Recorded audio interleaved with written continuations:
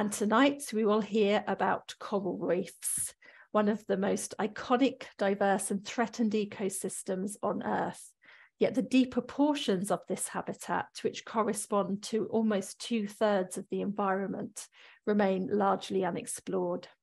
So this evening we'll learn more about these deeper reefs from Luiz Rocha.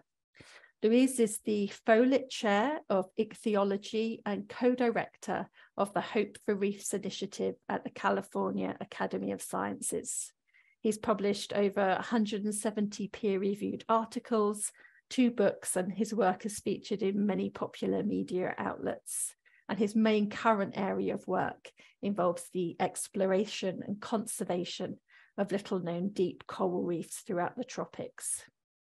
He leads a team of highly trained and experienced scientists and technical rebreather divers that are comprehensively exploring and conserving these deeper reefs for the first time.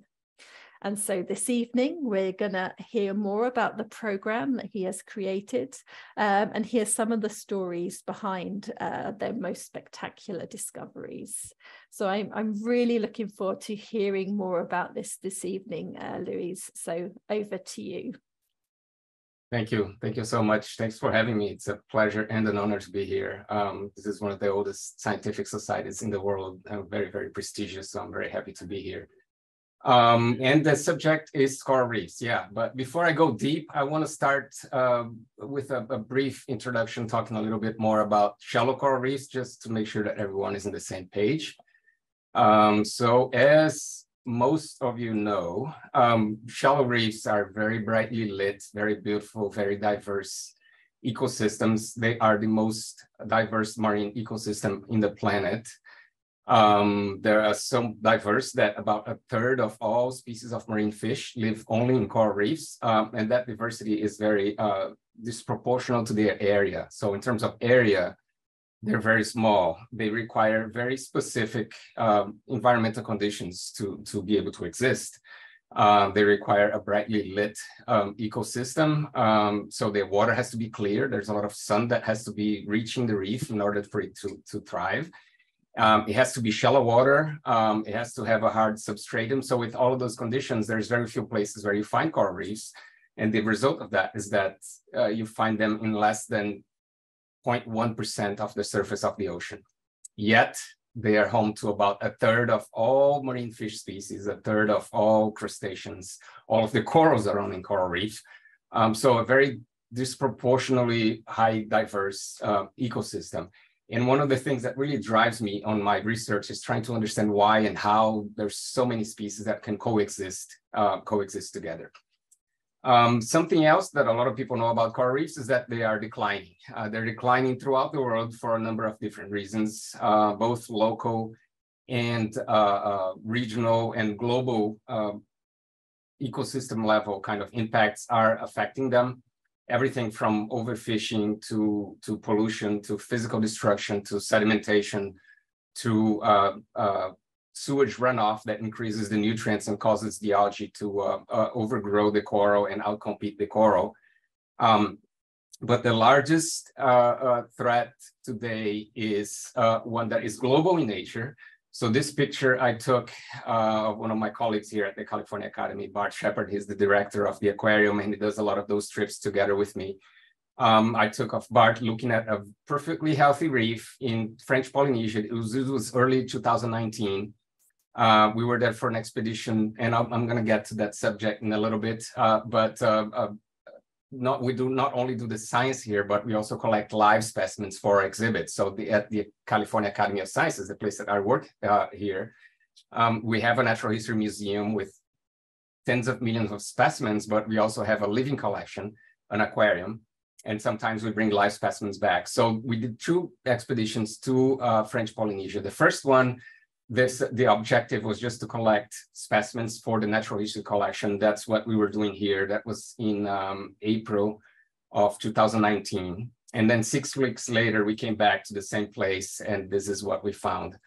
Um, so coral reefs, one of the reasons why they require light is because there's a zooxanthellae uh, alga that lives inside the coral reef that provides nutrition to the reef. So it's a really interesting and really tight symbiotic relationship.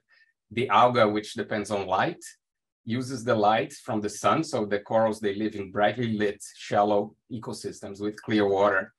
The, the algae uses the, the light from the sun to convert food into, into energy for itself, and then it refuses uh, its, its waste is used by the corals as nutrients. So it's a recycling system. The corals use the waste from the algae, the algae uses the waste from the coral, and then one depends on the other. That's a symbiotic uh, relationship when both species depend on each other. Now, this, this relationship is so tight, so linked, so tightly linked um, that it's very highly susceptible to any variances in environmental conditions.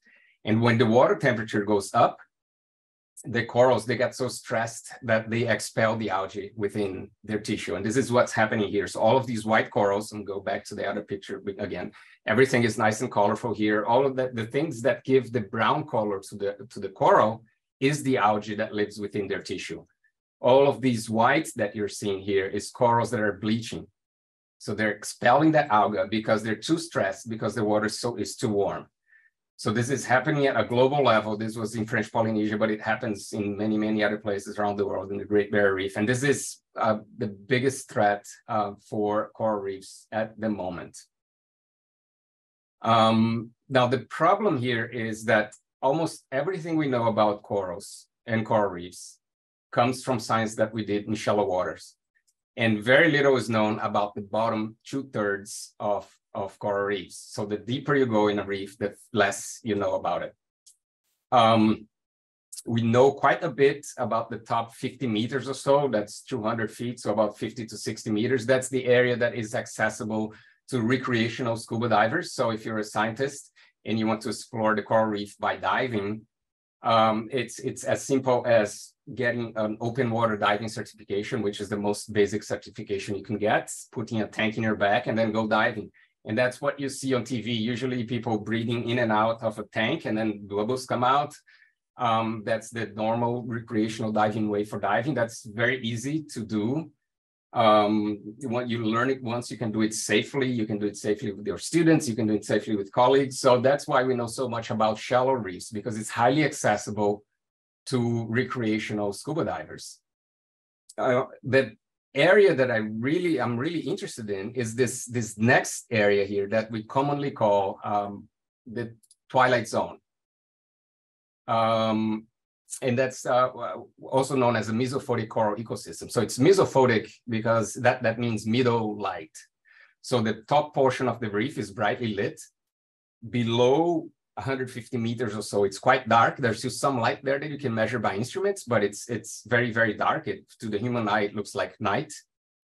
And, and in between, there's this area um, that we call mesophotic coral ecosystem. That's the middle light area where there's some light, but not a lot. I call it twilight zone because it feels like when you're diving during twilight hours. So if you're to dive in a shallow reef, uh, just before sunset or after sunrise, uh, that's what you'd see, like a, a, dimly lit kind of area with not a lot of light. Now that's what the twilight zone looks like. That's what mesophotic coral ecosystems look like to me. Uh, now, because they're harder to reach, they're impossible to reach by recreational scuba divers, it's very hard to explore. A lot of people ask me about submarines. So why don't you explore that area with submarines? Um, submarines, there's a few drawbacks to studying mesophotic ecosystems with submarines. One is that they're very expensive. And by that, I mean tens of thousands of dollars per day to operate, uh, plus the cost of the ship that you have to put the, the, the platform that you have to put the submarine in. Um, but also they're very large, very noisy, very brightly lit. There's a lot of lights. Um, so it's very hard to study fish with them. Trying to study fish in a, a reef system like a mesophotic coral ecosystem with a submarine it's almost like trying to study birds in a rainforest with a helicopter. So you get close to the reef with very big, very noisy kind of equipment, lots of lights in, the, all, the, all of the fish are gonna swim away. You still see the coral, you still see the ecosystem, but you can't see the fish, which is what I am really interested in. So to me, there was no question. I really wanted to explore this region using diving and not uh, and not submarines. Uh, now, the problem is that um, if you're a diver, you know that the deeper you go, the more complex things get. uh, the more gear you have to take, the more gas you have to take, and uh, it becomes really quickly very impractical to do any science when you have this much gear attached to yourself. So if you want to do uh, um, dive into those depths between oh, above 60 meters and between 60 and 120, 150 meters or so, you can't breathe air. Uh, you have to breathe a different mix of gas. So the atmosphere is mostly oxygen and nitrogen. Those two gases, they become toxic and narcotic the deeper you go. So if you breathe them under pressure, even though they're perfectly fine to breathe here at one atmosphere, the deeper you go, the more the pressure there is because of the water column above your head. And if you breathe them deeper, they become narcotic and toxic. So nitrogen gives you a narcotic effect. Uh, if you're breathing nitrogen below 30 meters, you almost feel like you're drinking alcohol. So it's the feeling of one glass of alcohol per atmosphere, uh, one glass of wine every 10 meters or so. And if you're at 120 meters, it's the equivalent of drinking a whole bottle of chew of wine, uh, the effect. So you don't want to be at 120, 130 meters drunk and trying to manage all of this equipment. Um, and then oxygen becomes toxic. Um, you can't breathe oxygen deeper than 60 meters or so because it causes you to pass out and you don't want to pass out underwater. So we replace those gases with helium. Helium is what we call an inert gas. It doesn't have any physiological interactions with your body, even when you dive deep breathing it. So we remove some of the nitrogen, remove some of the oxygen, and add helium and we breathe a mix that we call trimix because it's mainly three gases, helium, nitrogen, and oxygen. Um, at the depths we go to, it's mostly helium. We remove mo more, most of the oxygen and, and most of the um, uh, nitrogen. And the problem here is that helium is very expensive. Um, so if you look at this diver here on the right side photo, there's bubbles coming out. So right, if you ever saw a, a, documentary about diving, every time you breathe in with a regulator and you breathe out, bubbles come out. Um, when you're breathing air from a tank, that's not a problem because air is very cheap, but helium is very expensive. And at 100 meters, every time you exhale from one of those tanks, that costs $10 in helium. So you don't want to be spending that much in helium in every every dive you do. So the answer to, to those two questions, how do you take less equipment and you're still able to do, to do uh, the diving, and how do you save on helium is using the rebreather. And the rebreather is the equipment we use uh, to go to those depths. Now the rebreather has brings a lot of advantages to dive into those depths. I'm gonna try to give you a crash course here on, on what means to dive on a rebreather. So when you're diving on open circuit, when you're diving with a regular scuba tank, when you inhale, that, that air, the gas comes out of the tank, and then you inhale, and then we exhale and comes out as bubbles. With the re rebreather, when you exhale, as the number says, as the name says, you rebreathe the same gas over and over again. So when you exhale, instead of the air or gas comes out as coming out as bubbles, it goes back into the system. There's a filter, a canister on the back of the diver that removes the CO2 chemically. And then there's electronic sensors that monitor the, the amount of oxygen and add oxygen, only the oxygen you need. And then that mixture comes back and you breathe that again. So you rebreathe the same mixture again and again, minus the CO2 plus the oxygen that you need. So not only that makes the whole equipment much more efficient than uh, the open circuit equipment because you don't need all of those tanks, you don't need that much gas, but also what you don't see in this diagram here is helium. And that's because the helium, nothing happens to it. It's an inert gas. So you're breathing basically the same helium over and over again and just removing the CO2 and adding the oxygen. So that makes the entire operation a lot, a lot cheaper uh, because you're not exhaling $10 worth of helium every time you exhale. You're just breathing the same helium over and over again, minus carbon dioxide plus the oxygen that you need. So when we started doing those dives uh, to those depths, because of everything going on in shallow reefs, one of the first questions we wanted to ask, well, we wanted an answer for, was are those deep reefs a refuge? Um, so there's a lot of scientific literature there dating back 20 or 30 years that says that um, a lot of the impacts that we're seeing on those shallow reefs are not reaching the deep reefs and deep reefs might work as a refuge to animals, to organisms that live and are so much so uh, very threatened in the shallow reefs. Um, all of those hypotheses, all and the, that entire uh, line of thinking is based on these two assumptions. One, that there is a high overlap between shallow and deep species, and two, that the deep reefs are out of reach from human impacts. So if those two assumptions are met, then yes, the deep reefs are an ecosystem level refuge to the shallow reefs. If they aren't, then we have a problem. So we wanted to test those two assumptions there. And the first one, I put numbers in there. So uh, everybody assumed there was a high six, between 69 to 77% overlap between shallow and deep communities because everyone was looking at it using depth ranges. So depth range is a number that we attach to every species. If say you have a, a species of fish, I don't know, you can think of anything you, you like, maybe a cod. The depth range of that species is from 30 to 200 meters. That's the documented depth range in a database that you look at online. Now that depth range does not equal to the actual depth where that species usually lives. That only means that that species was collected between 20 and 200 meters. Now, if that depth range includes both shallow and deep reef, that species would be automatically added to the, the, column that says that it's a shallow species that depends on the deep reef, or that can find refuge in the deep reef. Now, the more we looked at this, the more we saw it is not the case. And the, the second one too uh, was the, the, the same thing. The more we looked at the deep reefs, the more impact we saw it. Now, how did we get to that? Uh, so to to untangle that range from what where the, the, the species actually live, we counted over a hundred thousand fish in, in many different locations throughout the world. Um, we used transect counts. So that one on the left there is Hudson Pinheiro. He was uh, my PhD student here at my lab and a postdoc, and now he's uh, in Brazil, in uh, São Paulo State at the University of São Paulo, uh, working at their marine station there and uh, we're still continue working together. We just published a nice paper together uh, uh last week. But I this picture I took off Hudson at about 135, 140 meters depth in Ponape conducting a transect. So a transect is, is a line, a measured line that we lay along the reef, and then we count every fish along that line, one meter to each side of the line. And we do that repeatedly along every depth we can, we can stop at.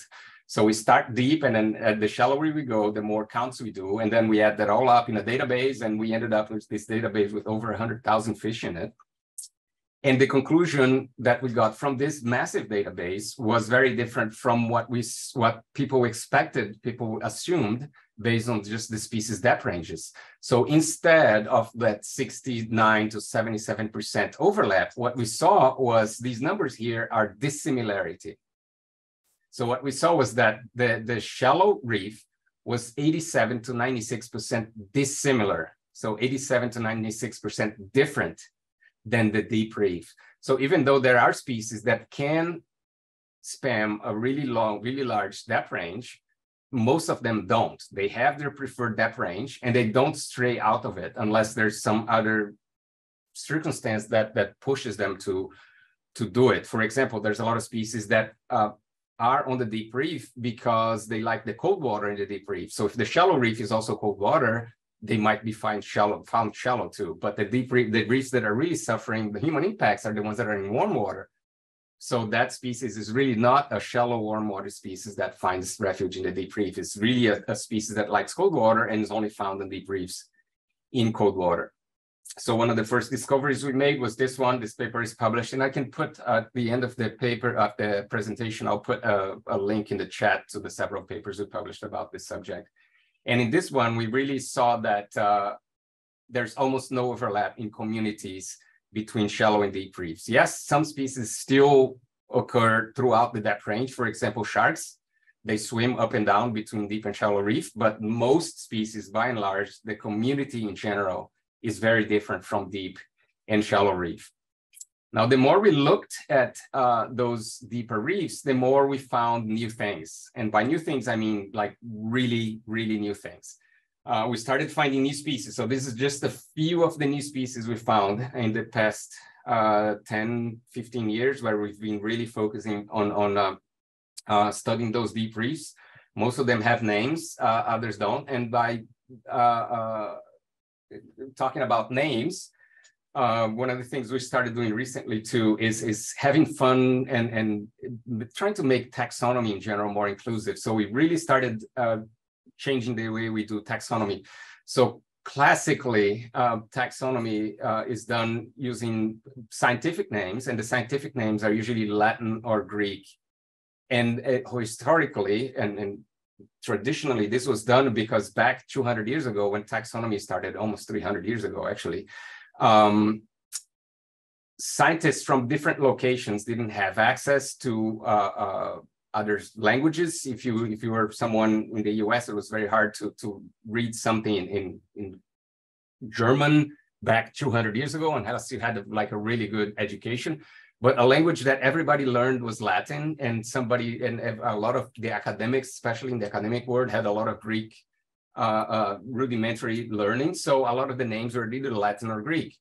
Um, nowadays, with the internet, we don't need that anymore. All the scientists can communicate easily using English or Google Translate or, or something like that. So what we started doing with our species name is we put we started putting scientific names using local names from the places where we describe the species. So for example, Luzonichthys kiomeamea is a species we found in Easter Island and kiomeamea is a Rapa Nui name. So we're putting like local names in local species. Chromis gunting. Gunting is a Filipino name. That species is from the Philippines. And that's really raising the bar in terms of interest um, uh, as far as local uh, community gets uh, engaging with those species. When they see the species from their local community that has a name that they know what it means, it means a lot more to them than just a, a new species from uh, a, a, reef that they might not even know where it is.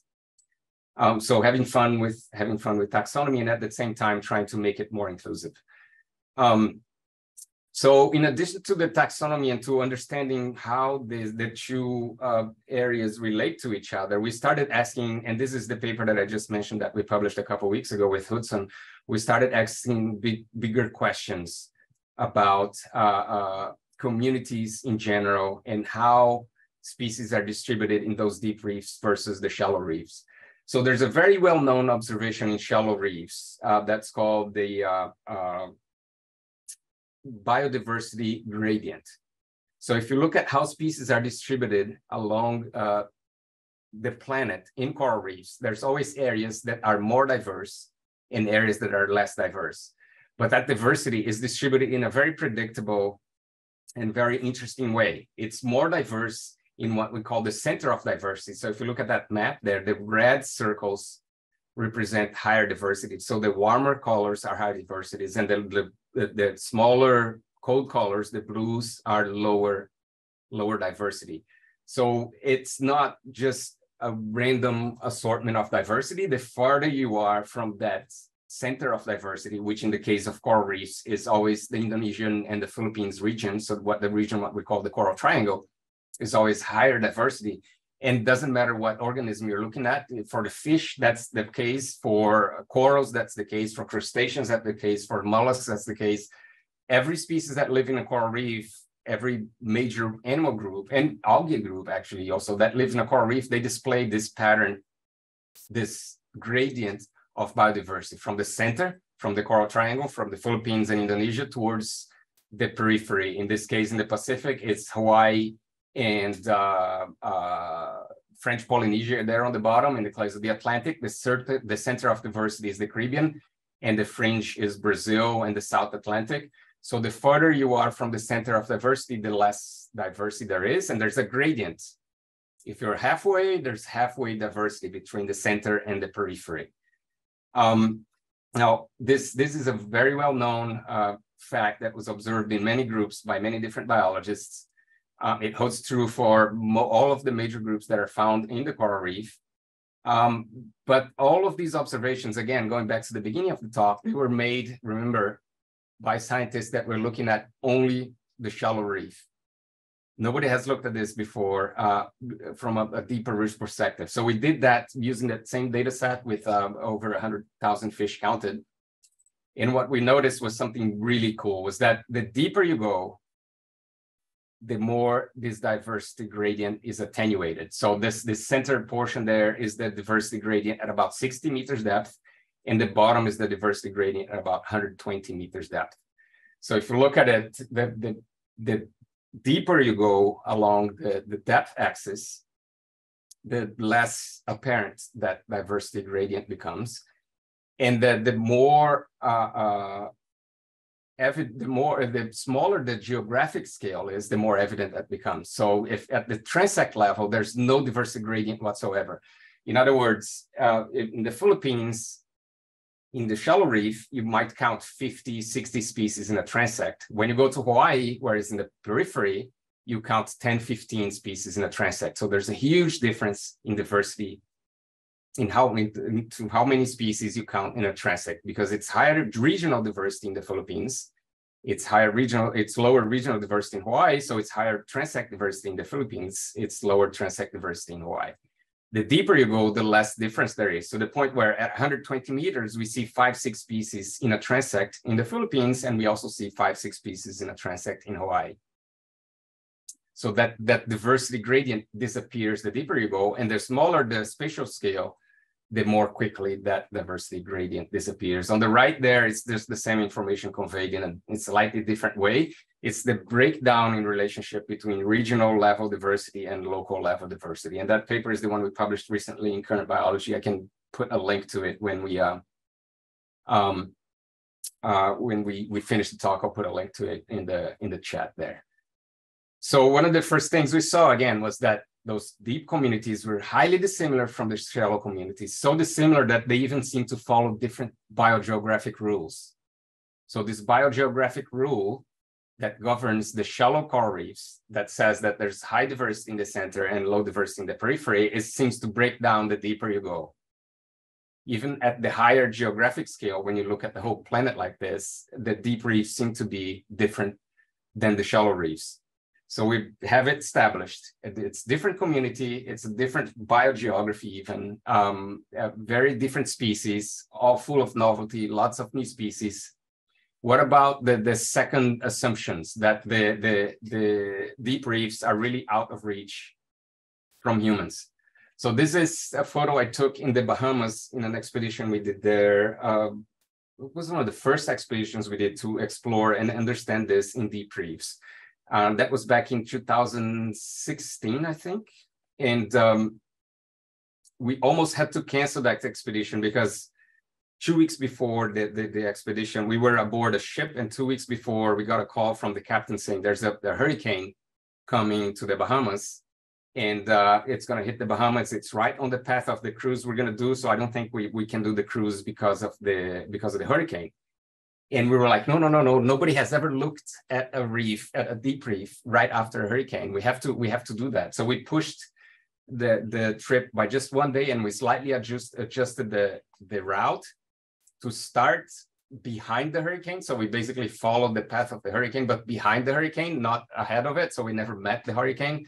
So we were safe from the hurricane, but we saw the impacts of the hurricane on the deep reef almost immediately after it passed. And it was the first time that was done before, uh, since. And um, uh, what was really interesting is that everybody assumed that hurricanes, they only had a big impact in shallow reefs because that's what you see, right? When a hurricane comes by, one of the most destructive effects it has on shallow reefs is waves. So the hurricane causes a lot of big waves to come in, and uh, those big waves they break corals in the shallow reefs. They overturn corals. They they they cause mayhem in shallow reefs. Now, because those waves are restricted to shallow reefs, um, most scientists assume that the deeper you go, the safer you are from the effects of the hurricane. What we saw, this picture I took at about 120 meters depth, and normally a deep reef doesn't look like that. It's much more colorful than this. The reason why this is not colorful is because it's completely covered in sand. And the reason why it's completely covered in sand is because the, the hurricane, when it passed through the shallow reef, it steered up all the sand from the shallow reef, and that sand rained, it, it smothered, it cascaded over the deep reef and covered everything in it sponges, gorgonians, corals. So it really had a big impact in the deep reef. So the natural uh, events like hurricanes that uh, we thought were only affecting shallow reefs, in reality, they're also affecting the deep reefs. Uh, we saw a lot of other, in, in different expeditions to different places, we saw a lot of other impacts. Coral diseases that people thought that uh, uh, were only impacting shallow reefs, turns out they're also impacting deep reefs. Um, they're being impacted by, they're being broken by uh, higher, stronger currents uh, uh, when the currents change for whatever reason in, in a location, for example, because of a hurricane uh, or if anything from the shallow reef falls above and on top of them, it breaks them. So they are suffering with um, almost every impact that is reaching shallow reefs is also reaching the deep reefs. This is one of the, the deepest pictures I took, uh, underwater pictures. This picture I took in the Philippines at about 148 meters depth. And this is one of those decorator sea urchins that uh, when it lives in a, in a seagrass bed, it covers itself in seagrass to camouflage itself so that the other predators don't see it.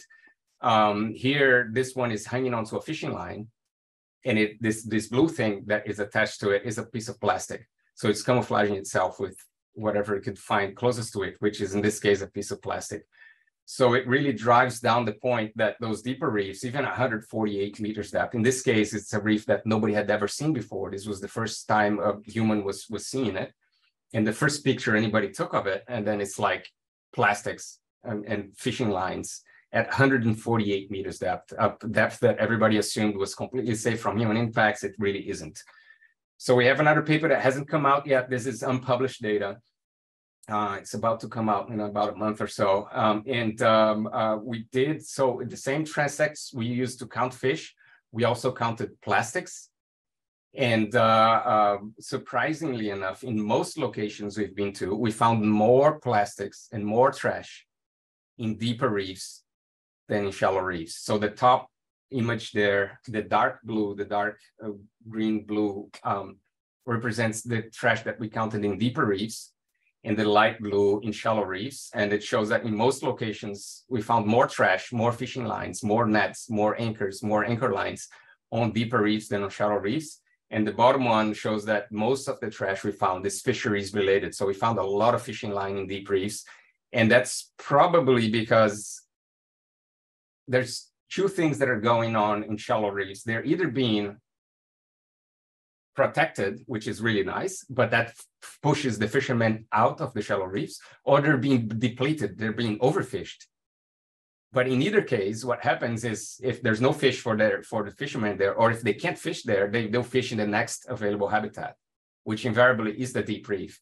So when they go to the deep reef, the, the, the lines get tangled and they, they break and they break the, the deeper reefs. The, those kind the kind of fishing fishing line that breaks corals um, it can be even more damaging to deep reefs than it is to shallow reefs because corals in deep reefs in general, they, they take a lot longer to grow. It's a lower energy habitat. Uh, there's less light. The, there's no symbiotic relationship. Uh, there's very few symbiotic corals down there. Mostly are heterotrophic, so they, they use nutrients they find in the water, as opposed to the sunlight, where uh, which drives the, the shallow reef. But in general, shallow reefs, they grow much faster than, than deep reefs.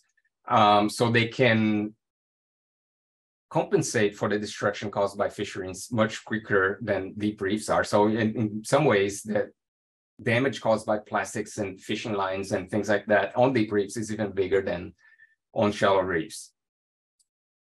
So I want to tell you a story of a, a, a, an expedition that we did in June 2017 to St. Paul's Rocks. St. Paul's Rocks is a tiny island off of Brazil. Um, Charles Darwin stopped there and spent some time there in his trip. It was on his first stops when he left London. It's in the middle of the Atlantic between uh, uh, uh, Brazil and Africa. So it's about a third of the way for, uh, uh, between Brazil and Africa. Um, it's about a thousand miles from Brazil and 2000 miles from, or a, thousand kilometers from Brazil and 2000 kilometers from Africa a tiny little island. The only building in the island is this building there that you see in the picture. It's a research station for four scientists. Uh, it's usually occupied by scientists. Sometimes it's the military. Um, but regardless, it's probably the smallest human impact you can find in any, any island. There's no support for diving. So we had to go there uh, with a, a, a, different kind of platform. Uh, we used this ship called the Alucia There was a decompression chamber on board. There was all of the support that we needed for the diving. We had all the helium there. We filled out all of the tanks on the ship. So we had to have this kind of support because it was not present in the island. The island itself is very small. So I took this picture from the highest point in the island. If I were to turn around and turn the, and take the picture facing the other way, it would be just ocean. So it's a, a very small island, just about 150 meters across by 150 by 100 meters. So very, very small, one building, four people. We had to be there on a ship when we got there, we did our, our, our usual science. So that's Hudson again doing a transect count. Um, um, and um, I'm going to show you a video here of one of our dives. So this is um, the second dive we did there. And if you have your sound, maybe raise your sound a little bit because there's sound in this video and that it's, it's relevant to it too. So I'm going to click play here and I'll stop at some points during the video to explain what's going on. So that's uh, the person that's filming is Mauritius Bell. He's the dive safety officer here at the Cal Academy. And that's the dive computer that's connected to our rebreather. So it shows us all of the information related to the, the rebreather. Uh, the first number I want you to look at is the depth. That's the top uh, uh, left corner of the computer there. 419 is the depth in feet. So that's about 115, 120 meters. Um, we're 15 minutes into the dive. 150 feet is the first stop, and we have to stop there for one minute. Those three numbers there 1.20, 1.23, and 1.21 they're the amount of oxygen that we're breathing. So that's what the rebreather does. Those three electronic sensors, they monitor the amount of oxygen. And when it goes below 1.2, they activate the unit to add more oxygen. So they add a little bit of oxygen. Uh, and this number here on the bottom right corner, TTS, is time to surface. So if we ended the dive there at 15 minutes into the dive, it would take us 83 minutes to come back to the surface. So when we dive at those depths, there's so much gas that gets absorbed into our body that uh, we can't go back straight to the surface. We have to go back very slowly and we have to stop every three meters when we get to a certain depth. In this case, 150 feet, uh, that's uh, what, 30, 35 meters uh, we have to stop every five, every three meters after that. And then spend some time there. And the computer tells us there's an algorithm there that, that tells us how long it's going to take to come up and, and how long it's going to take to do to for those gases that we absorb at depth to be eliminated from the body in a way that they don't turn into bubbles. We don't want to come if we come back fast, that gas turns into bubbles, just like when you open a soda bottle, it's under pressure. If you open it very quickly, the gas in there turns into bubbles. So we have to come up really slowly so that the gas doesn't turn into bubbles. We don't have don't want to have gas into our, our bloodstream. So that's what the information is in that uh, in that rebreather there. Uh, the, there's uh, another piece that's interesting there that O2 slash helium, that's the percentage of oxygen and helium that we're breathing. So 0, 9, 9% oxygen, 73% helium. That's the mix of gas that we're breathing. And then the reminder is nitrogen. So that's about 15% nitrogen there. Um, that's what we need to be able to safely breathe at those depths at 120 meters or so. So I'm gonna let the video go here and then I'll pause again in a little bit. And you hear Mauritius saying words, trying to get my attention basically. So that's me there. I'm trying to catch a fish.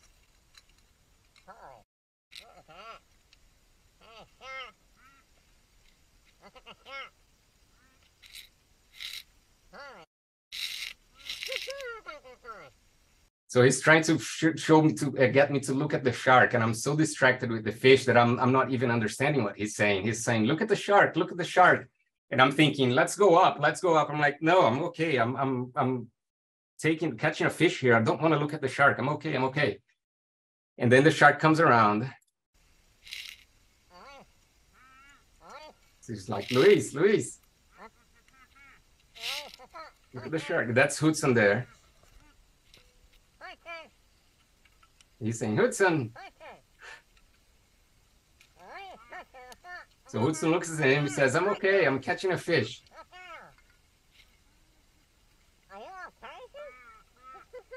So I'm going to pause here again. Um, um, the, the, his voice sounds like that because of the helium. So when we breathe helium, uh, the, the, it passes through our vocal cords faster than air because it's a very light molecule, and our, our sound of our voice sound sounds higher, higher pitch. So he's like, "Look at the shark! Look at the shark! Look at the shark!"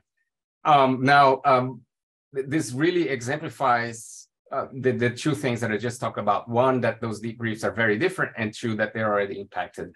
Uh, this species of shark is a six-gill shark, so it's a species of shark that nobody ever sees in the tropics. This island is on the equator. St. Paul's Rocks is on the equator, so it's very much a tropical island. But we're so deep that we're below the tropical water. The water uh, where we are here is at about 13 degrees Celsius.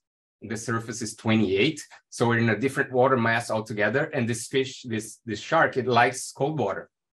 So it's a shark that no diver has ever seen, probably we were the only the only people to see that shark. And if you pay attention there, below its pectoral fin, that line coming out of its mouth, it's a fishing line. So it was probably hooked by a fishing uh, fisherman at some point, and the, the, the shark was so big that the line broke, but the line is still attached to to its mouth there. So it's a fish that nobody has ever seen before. The individual fish, we know what the species is. It's a fish that nobody has ever seen before, and uh, it's already being hooked by a line and it's being uh, not pulled up to the surface, but nonetheless, it's been it had its encounter with humans before. So the only person that saw that shark was Mauritius. Neither Hudson nor I saw the shark um, because we were distracted catching a fish. There's the two of us there catching a fish.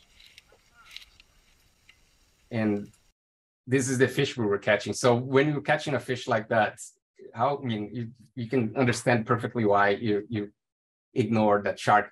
So that was uh, another kind of fun with taxonomy we had. Um, we named it Tosanoides aphrodite. So the genus is Tosanoides, and we named it Aphrodite because it was so pretty that it made us ignore the shark.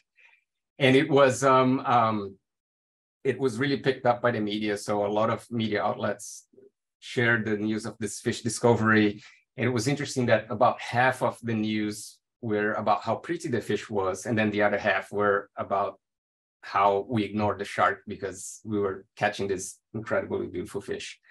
Um, and like what it's this is one of the most mixed emotions I have every time I dive to every single time I dive to those depths. Is we find fish like this, and then we turn around and we find this. So this is on the same dive that we found those fish we find these pieces of trash all over the reef. Uh, and this is in an island that's a thousand kilometers from Brazil and has one building, one research station for four scientists. And then we find this much trash in it, in, in, a, in an ecosystem that nobody has ever seen before, in a, in a place that uh, it, it, was the, the only time that anybody dove that deep there was uh, uh, when we did those surveys there. So we find that this spectacular new species that nobody has ever seen before, and you turn around and you find a piece of trash, human impact, a piece of rope in that case, uh, some clothing that I don't even know what it is. So even when we go to the most remote locations, um, the deepest reefs, um, we find uh, human impacts everywhere. Now, the really worrying thing to me about that is that a lot of those deep reefs are unprotected. Uh, so this is uh, another place in Brazil. This is the island of Fernando de Noronha. Um, and uh, it has, I think, the best marine protected area in Brazil. It's one of the old, one of the first marine parks to be enacted in Brazil. Uh, it covers almost all of the reef area of the island. Uh, the blue line there represents the borders of the park um, but it is limited. It stops at about 50 meters depth. And anything deeper than 50 meters is not protected. So which means most of the fishing in this island happens, almost all of the fishing happens on those deeper reefs. Um, people are fishing everything there. They're having impacts there. And for the most part, we don't even know what is there.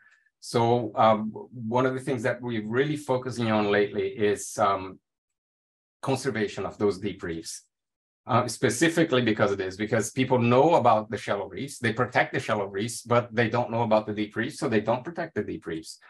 Um, so protecting a shallow reef is relatively, compared to protecting a deep reef, it's relatively easy because it's like those spectacular ecosystems. You can find pictures of them everywhere.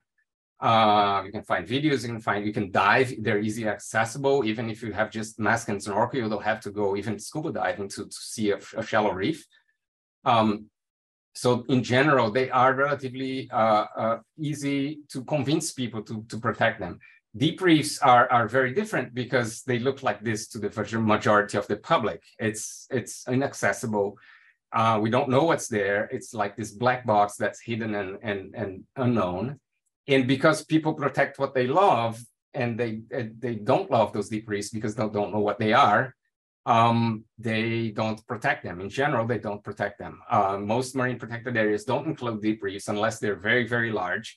Uh, the ones, most marine protected areas uh, created on reefs are specifically to protect certain reefs, and they don't usually include the deep reefs. So as I mentioned before, we're, we're having the, the fun with taxonomy. This is the one that uh, we um, recently described from the Maldives it was just about a year ago. And it also got a lot of media attention again because the fish is spectacularly beautiful. Um, but also we gave it a Maldivian name. So the, the name there, Finifenmaa, is the same name. Uh, it means pink flower in Maldivian, and it's the name of the Maldivian national flower. Um, because the color of the head of the fish, that pinkish, is the same tone of pink that the flower has and uh, um, it got so much media traction, uh, even in the Maldives, because of the name, that now uh, the Maldivian authorities are already planning to expand their marine protected areas to include some of the deep reefs to protect those deep, uh, uh, the, the, this fish that was just uh, described from there.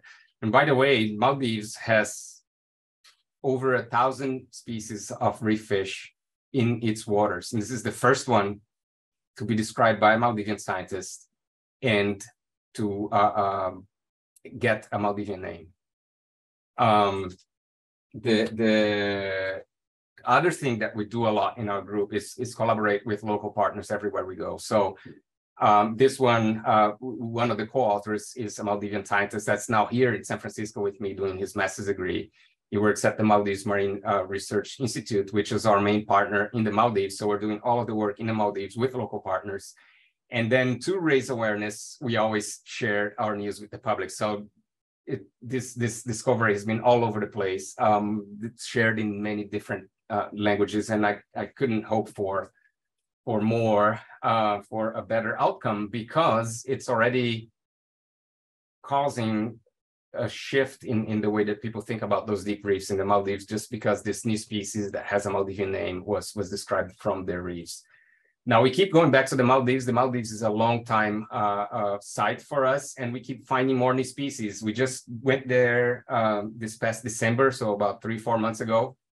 Oh, five months ago now. And we found more new species. This is a new species of chromis that we found in the Maldives at about 110 meters depth. But this is the most spectacular one of all. Uh, this is a, a new Pseudanthias we found there um, in the Maldives, about 120, about 130 meters depth. And um, this one, when, uh, when when when I first so whenever we go there, we do these expeditions, we do uh, um, talks. We we go back to the Maldives Marine Research Institute and we talked about what our results were, what we found, what we discovered. In this case, this fish I discovered, the first time we discovered it was back in January 2022, right in the middle of the Omicron wave of COVID. So when we came back from the boat with the results, I couldn't do a, a, talk in person that I wanted to do at the Maldives Marine Research Institute, but we also, we still did a talk anyways. We did a, a Zoom talk and um, uh, the, the director of the Marine Research Institute was on the call and the director of the Coast Guard and uh, a lot of Maldivian authorities. And um, when I showed this picture, they started talking to each other, debating what name it could get after after the one that got the national flower, what name we're gonna give to this one. So it's like when you see something like that, or like, okay, my work here is done. It's it's their fish. They they they want to name it. They're taking ownership, and I know they're going to protect it just because it's linked to their culture, it's linked to their story. So um, in the end of the day, that's uh, that's really what we want to do. We do the basic research, we do the more advanced research, the community ecology research, but what we really want to do is to to inspire people to love this ecosystem and protect these, these animals as much as they can. Uh, towards that goal, if you're ever in San Francisco, we have an exhibit that's entirely devoted to this ecosystem here at the Academy. Um, we have some of the most beautiful fish in the world. This is the peppermint angelfish. Um, we collected them ourselves because they're very hard to collect, or they're very deep. They're not hard to collect when you're in the right ecosystem. They're not rare or anything, but you have to go to 120 meters depth using uh, uh, technical rebreather diving, which is not for everybody. Not everyone is trained on that. Um, and this one happens to be the most expensive marine fish in the world. A fish like this is worth $20,000 or so. And you can see one in our exhibit here uh, in the public floor. So if you ever come to San Francisco, please come see us and you see not only this one, but a lot of other fish that are very unique. And um, sometimes we even exhibit live specimens of species that we haven't even named yet. So with that, I want to say that there's a large group that I, I, I have to acknowledge. And um, this is it. I'm going to open up for questions. Fantastic. Thank you so much, Louise. That was absolutely fascinating. Um, just this huge, you know, amazing hidden ecosystem that uh, thanks to you, we can learn more about um, altogether with such, such amazing diversity. Um, we've got lots of questions coming in, um, so I'm going to start to look at some of the questions in the Q&A. Um, and if you want to ask a question, please add it into the, the Q&A now. So, okay, I'm going to take these a little bit just in a random order, really. So, so first of all, I've got a question from Valerie. Um, so some of these fish are so beautiful. Um, so why are fish so colourful so far below the surface of the sea? That's a good question. Um, the, the short answer is we don't know.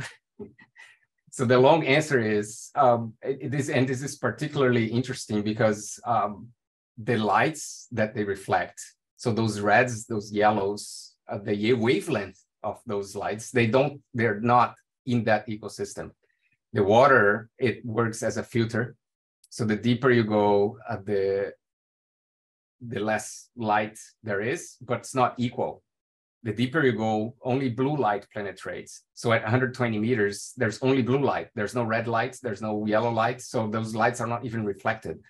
Um, so one of the explanations can be that they that's the way they they found to camouflage themselves because those lights are not there. It kind of disrupts their outline. They um, they use this as camouflage. Um, I don't think that's the entire explanation because uh, uh, there's a lot of differences between male and female. So sometimes the male is much more colorful than the female. So there has to be another way. So they might be seeing the things differently um, we have an active line of, of study in the lab here trying to figure out if they if their vision is different if the if those colors are associated with any fluorescence pattern, uh, uh, patterns, for example, they must they might be masking a fluorescent pigment that we can't see, but they can. So all kinds of interesting questions being asked. Nice, interesting. Thank you. Um, and then a, a, question here from Sergio about some of the community ecology work that you've been doing. Um, so does that mean that diversity is really linked with the shallow coral reefs and the variation, whereas at the mesophotic depths, it's just more or less the same everywhere? Um, it's, yes, I think so. The diversity, well, I mean, the, the gradient of diversity is, is much less apparent in the deep, especially at small spatial scale. So if you go the entire Philippines, the entire country of the Philippines, and you look at every deep reef there, yes, there's more deep reef fishes in the Philippines than there is in Hawaii. But if you get to a smaller scale, there's the same amount in one transect in the Philippines as there is in Hawaii. So there's a decoupling between the local diversity and the regional diversity. Um, in general, the more species you have in a whole region, say like a country like Brazil, there's thousands of species of birds. You go to a small patch of forest in the Amazon, there's hundreds of species of birds. If you go to another country like England, where there's not thousands of species of birds, only hundreds, then the, the, the, the, decrease, the local decrease in diversity is proportional to the regional decrease in the deep reefs, the deeper you go, the less proportional that becomes. That's that's what the more interesting, the most interesting observation is, is that the, the regional diversity is decoupled from the, the local diversity there. Cool, brilliant, thank you, thank you. And then we've got a few sort of similar questions about um, when you bring fish back up to the surface as, as live live specimens. Mm-hmm. Um, so do you have to do that slowly as well in order to allow for pressure? And then how do you keep those deep sea fish in tanks um, so that people can see them? Yeah, right, right. That's a good question too, and that's that's subject of an entire different talk, which I have. I have it here. You want? You have another hour? I can give you another hour talk. I think people would actually like that, but uh... exactly right. Yeah, yeah. Oh no. All jokes aside, we we developed actually a fish decompression chamber so if a diver spends 10, 15 minutes at those depths, and for us, it's if we do a 10 minute dive to about 120 meters depth, it's five, five hour, four or five hours to come up. That's how long it takes to, to decompress. So we have to come up very slowly. But the fish spent their whole life there. So they have to come up even slower. Now it's not practical for us as a diver to hold the fish and, and, and follow the same decompression as the fish. So what we did here at the academy is we developed a fish decompression chamber. So it's a small apparatus. I don't have any in my office here. I think the only one we have here is in the public floor. Um, but um, it's a small apparatus. It looks like a, a canister of a filter. And we put the fish in there, we seal it at under pressure, and then we send it up to the surface with the pressure sealed in there. And then um, aquarium biologists hook that up to pumps and then they slowly decompress the fish over days. So for us, it takes a few hours. For the fish, takes a few days. So they slowly remove the pressure from the tank, uh, from the decompression chamber, and then that brings them safely back to the surface. Um, traditionally, when aquarium collectors collect fish, not at the same depths as we do, but at, I don't know, there's some aquarium collectors that collect fish at 50 meters depth. Even that different, that pressure variation affects the fish. So traditionally they do it by, by puncturing the swim bladder. The biggest problem with the fish is that the swim bladder is a, is a gas bubble that as you go up, it increases in size and then it squishes all of the other organs of the fish. And you can see easily how bad that is for the fish. Now, puncturing it with, with a needle is also very damaging to the fish. That's why we developed the fish decompression chamber. So as after the fish is decompressed properly using the decompression chamber, then um, uh, it's it's much easier uh, uh, to to maintain it, and then we maintain it at uh, under under normal pressure. A lot of people ask us if the tanks are kept under pressure for the fish to be okay. They don't have to. So if you decompress the fish properly, they live fine at ambient pressure. What we do have to do with the tanks is we have to keep them darker and colder um, because the water temperature is much colder on these deeper reefs. And because there's a lot less light, and they're much darker, then we keep the tanks darker and colder and the fish are happy with it. We have fish in our exhibit here since uh, 2016, 15, 16, the same fish that we collected five, six, seven years ago are still alive. So they're living a long time. As long as we figure out what they like to eat um, and we keep the lights down and the temperature down, they're fine for a long time. And, and do they breed? Are you able to kind of get males and females and breeding, or is that just is it just too complicated? Yes, no, amazingly, yes, they do breed. There's a whole program here at the aquarium looking at uh, uh, uh, what species are breeding and trying to raise their eggs. They breed very often, actually. What's really hard to do is to raise the eggs. So when they breed, when they spawn, they, they make a lot of eggs, and then the eggs they turn into tiny little microscopic larvae and those larvae, they're really hard to feed.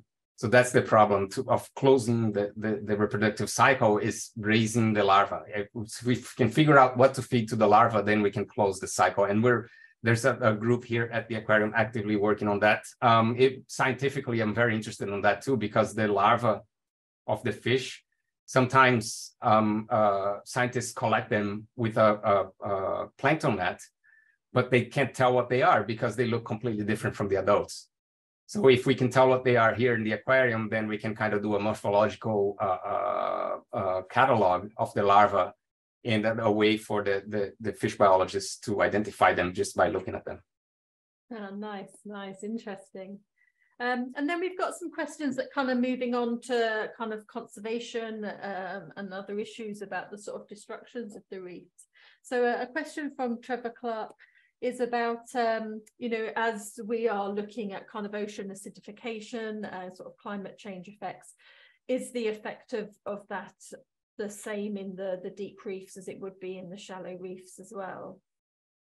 Yeah, again, there's a short answer and a long answer. The short one is uh, we don't know yet because we haven't surveyed the deep reefs enough yet. There's a lot of, for example, there's a lot of temperature data for shallow reefs.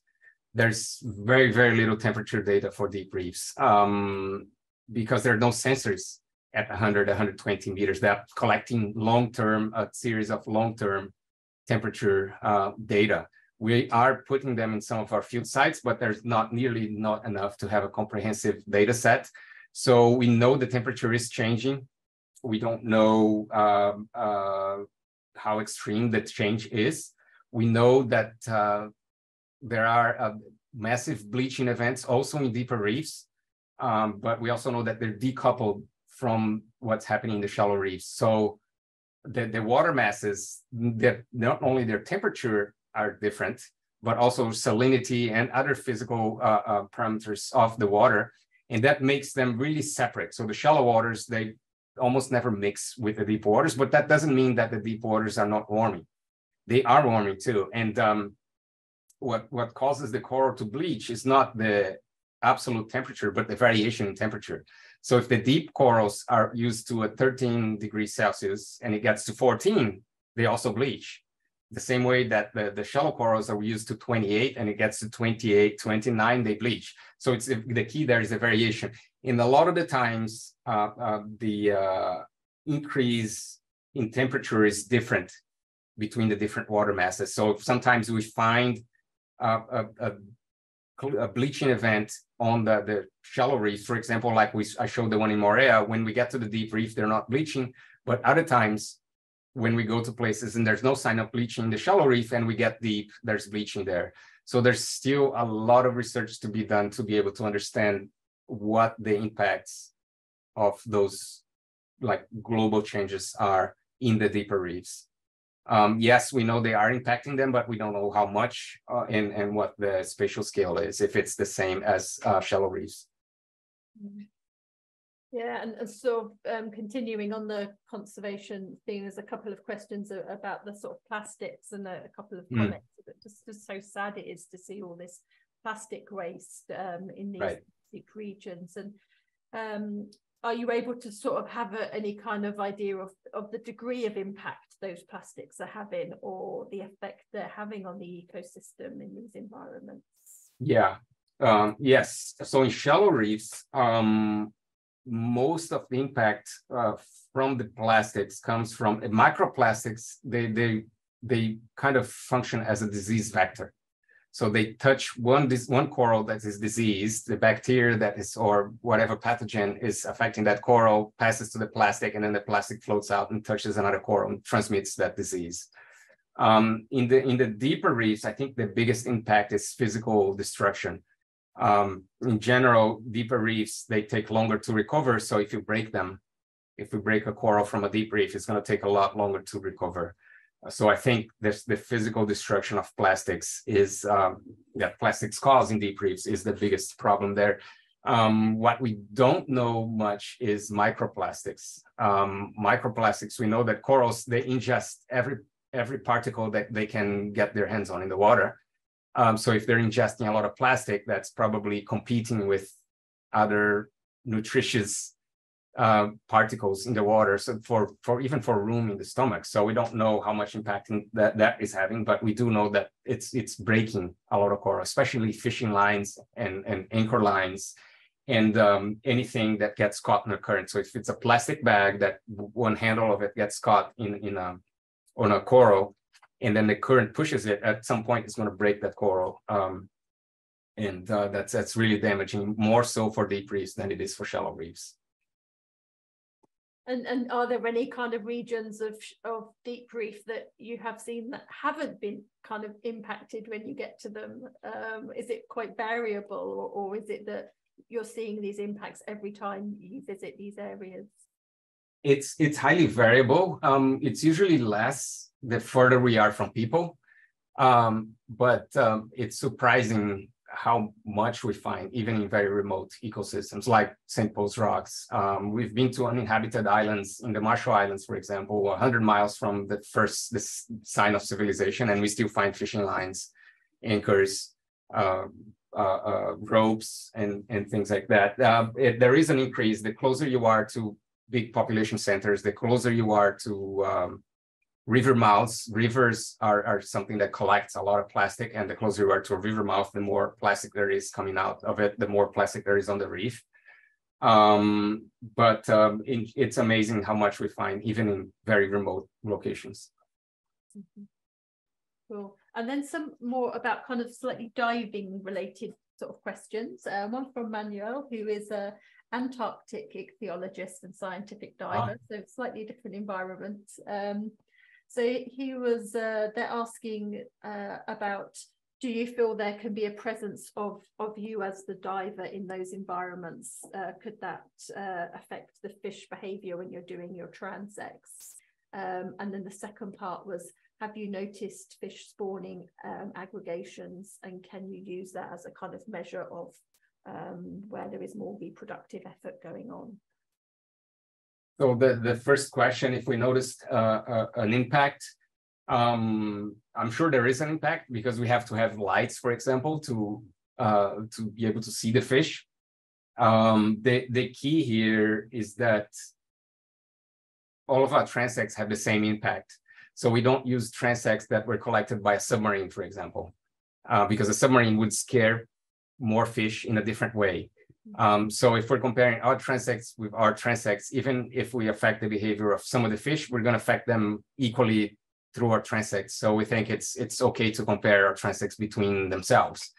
Um, I wouldn't compare my transects, for example, with uh, uh, transect is a very common way of collecting ecological data and divers do it in the shallow reef too, using scuba. So when you're using normal scuba, there's the bubbles that come out. They affect the fish in a, in a much more different way than when you're using a rebreather with no bubbles. So in general, we don't compare our transects to transects uh, uh, that to our fish counts that were done by divers using open circuit gear.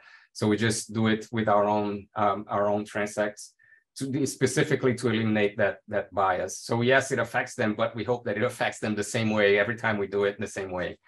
Um, what was the second question again? The about spawning aggregation. spawning aggregations. Yes, we see them sometimes. Um, uh, we have to uh, we have to specifically go to places in general. So groupers and wrasses, they like spawning in, in points of islands uh, where there's a lot of current so that the eggs and the larvae get carried out immediately out of the reef outside of away from predators and everything and those places usually have a lot of currents so we try to avoid diving them because of the the, the massive currents but sometimes we do find them. And um, uh, it's spectacular every time we do it's just so much fish we just lose ourselves in it and uh, we stop doing everything we're doing to just look at it in, in amazement. Um, in, in some places it's easier to see them than in others. In a lot of places, uh, spawning aggregations have been and are targeted by fisheries. So in those places, it's very hard to see them because there's very few fish. We don't even recognize them as spawning aggregations. But in other places like Palau, for example, we see like massive aggregation all the time, and they're really highly protected there. Cool. Uh, thank you.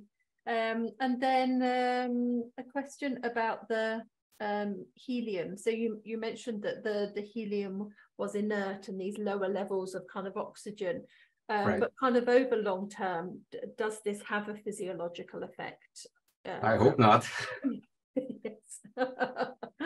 um, I don't know. I mean, I we don't think so. Um, uh, helium has been used in diving for 50, 60 years. It's also what people use in commercial diving um, uh, to go deeper than what we go, um, you need a lot more infrastructure. The only industries that can afford that are either the oil industry or the military, but they do dive uh, deeper than that. They dive to 200, 250, 300 meters depth sometimes. uh, with a lot more infrastructure, but they still use helium also. Um, and there hasn't been any long-term effects that was detected from it. So I hope there isn't. And it hasn't been for the past 50 or 60 years or so. it's looking okay so far. Uh, yes. Yeah. Um, and then yeah, a question from, from Claire um, about you mentioned the the sort of bleaching in the deeper reefs here. Mm-hmm. Um, but um, with these deeper reefs, do they still have the symbiotic um, algae or or not? And how does bleaching differ to what it would be in the shallow reefs? They do. Some species do have the symbiotic algae. They're different species than one than the ones from the shallow reef, and they are not very deep. So we find symbiotic corals, uh, zooxanthellid corals, uh, to about 50, 70, 80 meters at the most um, when the water, the surface water is really clear. In places where the surface water is turbid, then we don't find them that deep. So it depends on how much light penetrates. And there's a fascinating thing that corals do. Um, not my specialties, uh, but I know about it because I read about it. But uh, the, the, shallow water coral, corals, they produce fluorescent pigments in the shallow water corals, there's so much light that penetrates the water that they use the fluorescent pigments to reflect light out of their tissue to protect the, the zooxanthella from too much light. In the deep corals, they orient the pigments in a different way to increase the light that the, that the zooxanthellae get. So it's a, it's the same pigment, they use it different. They use it basically as a sunscreen in shallow waters and as a, as a lens to increase how much light the, the zooxanthellae get at deeper waters. Amazing, yeah. But yes, there are some um, symbiotic corals all the way down to 60, 70, 80 meters. There's algae, some species of algae also. And again, it depends on how clear the, the surface water is. Deeper than that, to 100, 120 meters, then there's a lot of gorgonians. There's a lot of non-zooxanthellid corals, uh, so corals that survive only on uh, uh, what they can get from the water. And there's a lot of sponges also that filter um, the water. Uh, but those have other kinds of diseases, not necessarily bleaching, but just other pathogens that are affecting shallow reefs are also affecting the deep, uh, deep corals. In the Caribbean, for example, there's a, a, a, new pathogen that's killing a lot of corals in the Caribbean. It's, uh, the disease is called uh, stony coral loss, stony, stony coral tissue loss disease, ST, SCTLD. And um, um, it's so new that we don't even, or scientists that study it don't even know what, what pathogen is causing it yet, if it's a bacteria or a, a virus or, but it's a killing over 90, 95% of the individuals of certain species. The species that are susceptible to this disease are, are having 90, 95% mortality rate and it is affecting some of the deeper uh, reef corals also. And do and do you know how these arise? You know, is is this something where uh, again humans are impacting and increasing these pathogen effects, or? Not sure. Um, in this particular case of the stony coral tissue loss disease, um, we don't even know what the pathogen is yet, but we do know that the disease started in Miami when they were doing a big dredging project, increasing the depth of the of the, the channel in uh, in uh, the cruise ship port in the Baham in the um, Miami.